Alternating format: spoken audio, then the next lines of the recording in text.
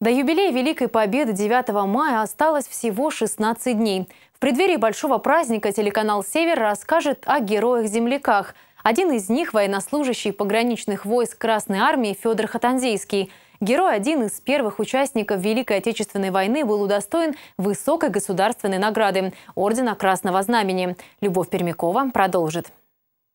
Хатанзейский Федор Семенович. Вот газета «Нарьяна Виндер». 19 декабря 1941 года опубликовала его письмо за подписью «С приветом ваш земляк-орденоносец Федя Хатанзейский».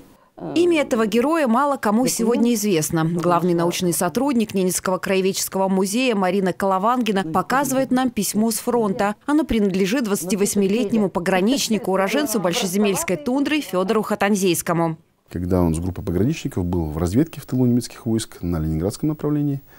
И они разгромили штаб немецкой части, захватили ценные документы.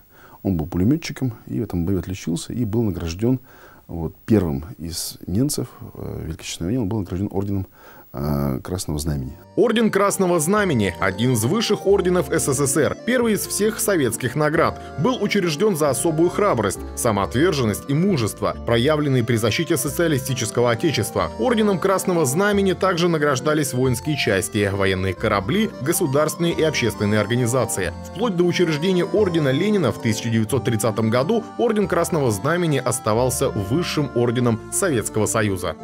В наградном листе хранятся следующие данные. Орден Красного Знамени Федор Семенович получил за разгром штаба немецкой дивизии в районе Лосгорова. По архивным материалам награда получена за номером 0543 14 марта 1943 года.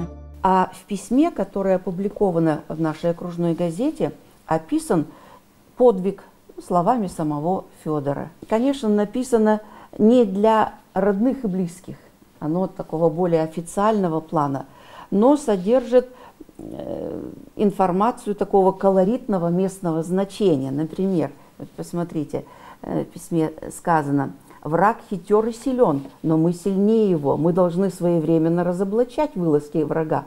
Немецких фашистов надо уничтожать так, как наши пастухи-оленеводы уничтожают в тундре волков.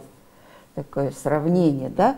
Кстати, кроме высокой награды Ордена Красное Знамени, в наградной копилке пограничника есть медаль за оборону Ленинграда и за победу над Германией в Великой Отечественной войне.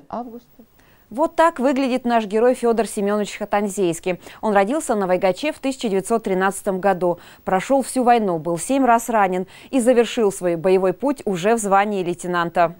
После окончания войны Федор Семенович работал в республике Коми юристом и адвокатом. Точная дата смерти нашего земляка неизвестна. Но, как показало время, боевой подвиг пограничника навсегда вошел в историю России и Ненецкого автономного округа.